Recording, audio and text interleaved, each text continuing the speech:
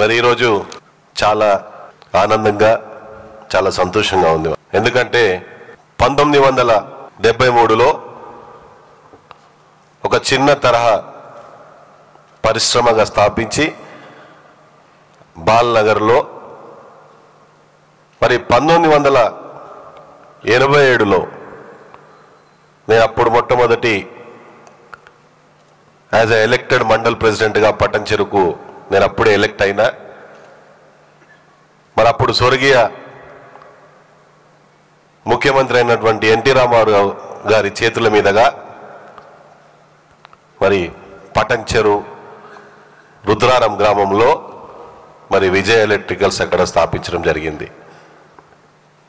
నేను అప్పుడు అడిగిన సార్ ఇంత స్థలం తీసుకుంటున్నారు మీరు?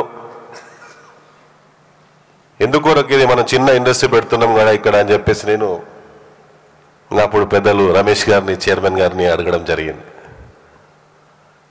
అంటే నా కోరిక